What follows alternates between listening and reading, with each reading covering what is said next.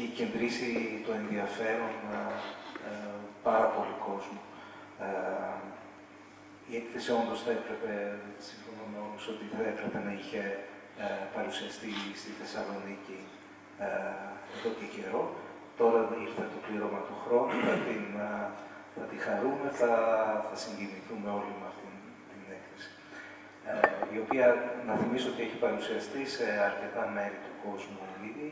Έτσι κι αλλιώς η κυρία Αλκαλάη εκθέτει ε, στο εξωτερικό και στην, και στην Ελλάδα. Σας ακούμε. Ευχαριστώ πολύ.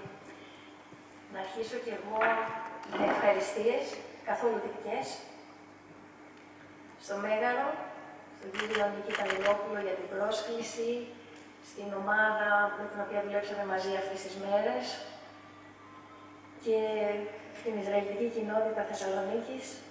Ευχαριστώ πάρα πολύ που αγκαλιάσατε, βάλατε υπό την αιγίδα την έκθεση και με τιμήσατε ε, τόσο πολύ να είμαι αυτή την ε, βραδιά μαζί σας, αλλά και για τρεις εβδομάδες ακόμα.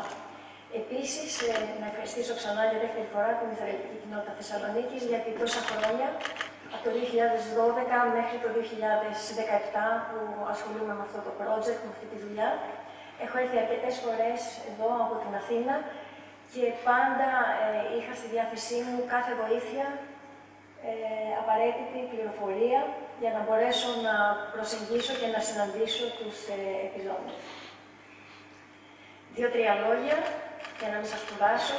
Φαντάζομαι ότι με τις ερωτήσεις σας μετά θα καλύψουμε ό,τι άλλο δεν έχουμε πει. Προέρχομαι από μια εβραϊκή οικογένεια και ήταν φυσιολογικό, φυσικό κάποια στιγμή να ασχοληθώ κι εγώ με αυτό το ζήτημα και να αποτίσω ένα φόρο τιμής, ένα ηθικό χρέος στους ανθρώπους της οικογένειας μου που χάθηκαν, αλλά και σε όλους τους ε, Έλληνες Εβραίους η δουλειά ε, είναι, έχει σχέση μόνο με τους ε, Έλληνες ιδέους, δηλαδή δεν φωτογραφίζω επιζώντες ε, ε, από άλλες χώρες. Είτε μένουν εδώ, είτε μένουν στο εξωτερικό, προσπαθώ να τους συναντήσω, να, πάρω, να διασώσω τα πρόσωπά τους, να, να δούμε την ε, μορφή τους, να μην είναι μόνο ένας αριθμός σαν αυτός που υπάρχει στο μπράτσο τους συνήθως ε, συνοδεύεται από ένα υλικό προφορικής μαρτυρίας, υπάρχουν δηλαδή βίντεο και ελπίζω κάποια στιγμή να μπορέσουμε να τα δούμε και αυτά. Και είναι Εβραίοι Έλληνες οι οποίοι είναι και Ρωμανιώτες, δηλαδή αυτοί που ήρθαν στον, ε, στο χώρο, τον ελλαδικό χώρο εδώ και 20 αιώνες, αλλά και σε παραδίτες, όπως είναι οι Εβραίοι της Θεσσαλονίκης που ήρθαν ένα μεγάλο ποσοστό ε, το 15ο αιώνα. Θα δείτε ίσως μια διαφοροποίηση στις, ε, στις εικόνες, στη φωτογράφηση.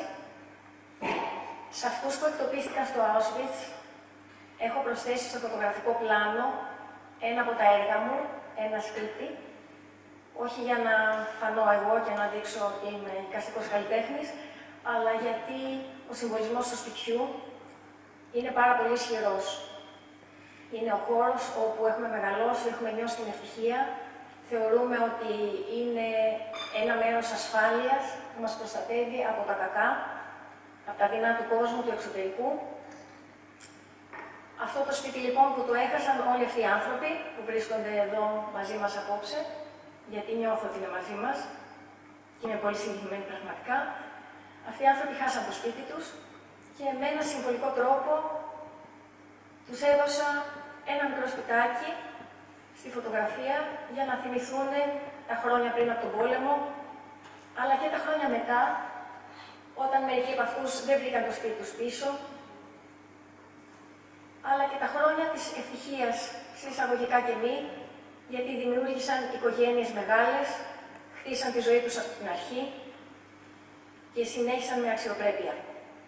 Πολλοί από αυτούς έχουν ήδη φύγει από τη ζωή όπως ανέφερε και ο κύριος Αλτιέλ, είναι οι τελευταίοι μάρτυρες λοιπόν της ε, ευρωπαϊκής βαρβαρότητας και για μένα πάρα πολύ σημαντική. Και όσον αφορά, όπως είπαμε, ε, το ότι η έκθεση αυτή δεν έγινε στη Θεσσαλονίκη, στον χώρο που δικαιωματικά ανήκει και που ήθελα πάρα πολύ να έρθω εδώ να την εκθέσω, Υπάρχει ένα πλεονέκτημα. Ξεκίνησα στο Τελαβίβ δείχνοντας τη δουλειά με 20 επιζώντες, συνέχισα στην Αθήνα με 25, μετά με 40 και σήμερα έχω τη χαρά, την πραγματική, να έχω μαζί ε, συντροφιά 64, 64 επιζώντες, 64 πορτρέτα. Και ελπίζω ότι όσο ζούμε και οι υπόλοιποι και όσο μπορώ εγώ, θα προσπαθώ πάντα να τους συναντώ, να τους φωτογραφίζω και να ακούω την ιστορία τους. Μία μικρή κουβέντα για ένα κομμάτι της έκθεσης. Το εσωτερικό της έκθεσης ανήκει στους Θεσσαλονικείς, μαζί με άλλους τρεις απ' έξω, γιατί είναι τόσοι πολλοί που δεν χώραγαν, ξέρουμε το ποσοστό εξόντωσης. 34 λοιπόν είναι από την πόλη της Θεσσαλονίκης, εκτοπίστηκαν από εδώ και οι υπόλοιποι 30 είναι από άλλες κοινότητες. Υπάρχουν λοιπόν και αυτοί που είχαν την ισπανική υπηκότητα, διαβατήρια, βίζες, χαρτιά, και οι οποίοι σώθηκαν χάρη στις ηρωικές προσπάθειες του τότε πρόξενου στην Αθήνα, στην Ισπανική Πρεσβεία, του Σεπαστιάν Τερομέρο Ραδιγάλης. Αυτοί έχουν φωτογραφηθεί χωρίς αυτό το σπιτάκι, μια που οι περισσότεροι επέζησαν με τις οικογένειές τους. Έχω βάλει λοιπόν στο πλάνο τα στοιχεία, τα διαβατήρια, τις βίζες, χαρτιά, γράμματα, με τα οποία, ε, χάρη στα οποία ε, επέζησαν. Οπότε είναι δύο τρόποι φωτογράφησης. Ευχαριστώ πάρα πολύ, είμαι στη διάθεσή σας για όλα και περιμένουμε πάρα πολύ χαρά τη βραδιά των εγγενείων και της συναυλίας. Ευχαριστώ. Συγγνώμη από τις 29 Ιανουαρίου μέχρι τις 23 Φεβρουαρίου ε, και οι ώρες επίσκεψης είναι 10 το πρωί με 6 το απόγευμα. Ε, Κυριακή όχι. Ναι. Εκτός από Κυριακή. Δίκιο έχετε. Ε, λοιπόν, τώρα περιμένουμε τις ερωτήσεις σας.